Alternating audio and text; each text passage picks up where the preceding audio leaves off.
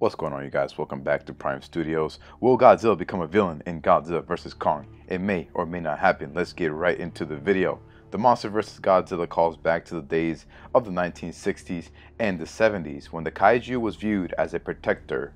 In Legendary's Godzilla and Godzilla King of the Monsters movies, Godzilla did not attack the humans. Instead, he focused his attention on the other monsters to defend and protect the humans. Godzilla has thus far been characterized as a titan who wants to maintain the balance of nature.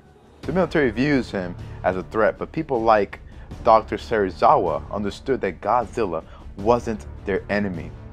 How people perceive the king of the monsters could potentially change at another point in time. And people adopting a new attitude towards Godzilla may have been foreshadowing by a key line at the end of Godzilla King of the Monsters that left me scratching my head when I was watching in theaters.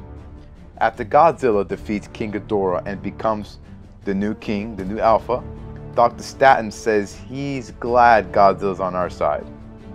To which Dr. Chen replies, for now. Let's talk about that for a minute, okay? We trust Godzilla as a protector, but maybe, just maybe, in Godzilla vs. Kong, something happens to where Godzilla just turns against the human race.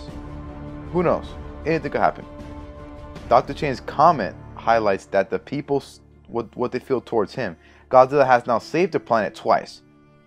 Not once, but twice. But people still don't completely trust him. There's a concern that Godzilla will pull a Dominic Toretto and turn rogue and strike out against humanity at any point in time. And that would be something that could happen.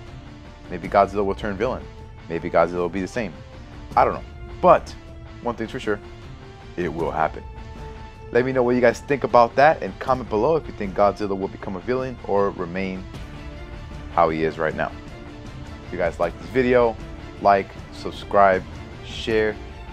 I will keep you guys posted on any Godzilla vs. Kong content. Thank you guys for watching my videos. Have a good rest of your day.